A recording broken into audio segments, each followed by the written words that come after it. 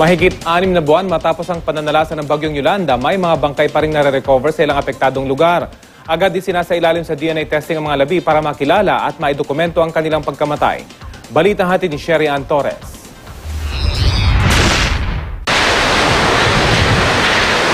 November 2013 na nalasa sa Eastern Visayas ang super bagyong Yolanda.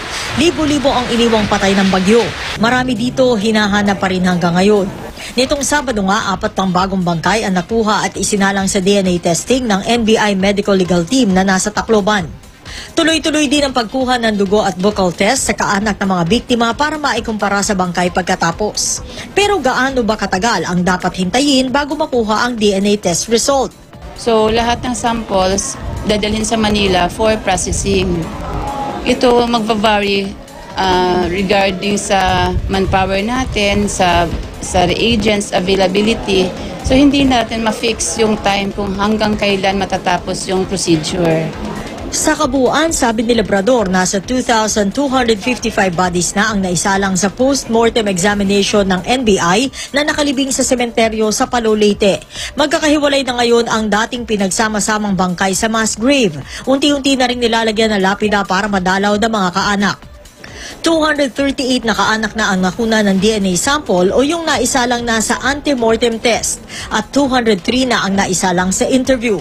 Sa ngayon, mga buto na raw ang kinukunan nila ng DNA sample. Masyado na kasing kontaminado ang katawan ng Yolanda victims lalo't nababad ang mga ito sa tubig at matinding sikat ng araw. Paliwanag ni Labrador, bagamat nakita na ng iba ang mga kaanak nilang nasawi sa bagyo, importante pa rin ang DNA testing para maidokumento ang pagkamatay ng isang biktima.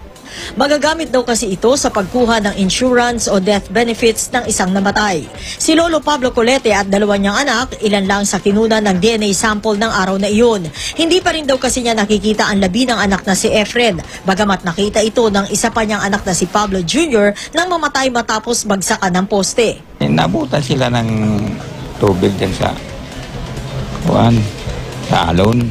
Yun, nadala sila. Kung sa ibang bansa minuto lang lumalabas na ang DNA test, dito sa Pilipinas inaabot ito na ilang araw. Pero ito ay kung sa pribadong ospital ipagagawa na aabot sa 20,000 pesos ang bayad. Sa NBI, libreng isinasagawa ang DNA testing. Yun nga lang, walang kasiguruhan ng labas ng resulta nito sa dami ng mga nakasalang doon.